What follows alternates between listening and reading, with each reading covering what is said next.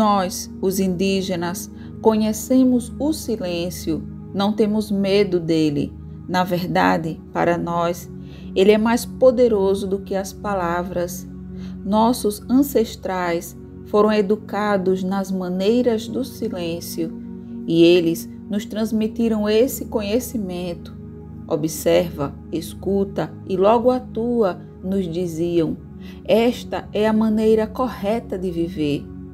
Observa os animais para ver como cuidam de seus filhotes. Observa os anciões para ver como se comportam. Observa o homem branco para ver o que querem. Sempre observe, primeiro, com o coração e a mente quietos, e então aprenderás.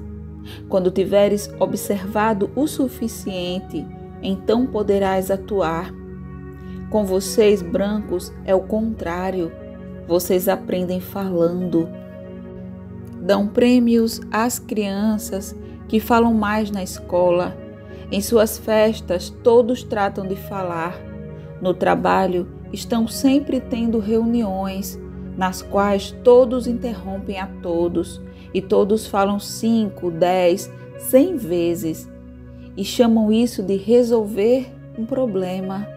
Quando estão numa habitação e há silêncio, ficam nervosos, precisam preencher o espaço com sons.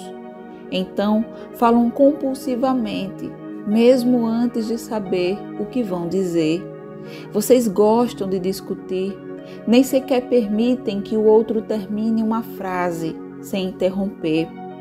Para nós, isso é muito desrespeitoso e muito estúpido, inclusive. Se começas a falar, eu não vou te interromper, te escutarei. Talvez deixe de escutá-lo se não gostar do que estás dizendo, mas não vou interromper-te. Quando terminares, tomarei minha decisão sobre o que disseste, mas não te direi se não estou de acordo, a menos que seja importante. Do contrário, simplesmente ficarei calado e me afastarei. Terás dito o que preciso saber, não há mais nada a dizer. Mas isso não é suficiente para a maioria de vocês. Deveriam pensar nas suas palavras como se fossem sementes, deveriam plantá-las e permiti-las crescer em silêncio. Nossos ancestrais nos ensinaram que a terra está sempre nos falando e que devemos ficar em silêncio para escutá-la. Existem muitas vozes além das nossas, muitas vozes. Só vamos escutá-las em silêncio.